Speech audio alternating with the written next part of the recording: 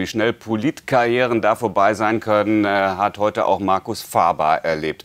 Verteidigungspolitischer Sprecher der FDP-Fraktion mit 38 eine Nachwuchshoffnung. Bis heute Morgen um kurz vor neun.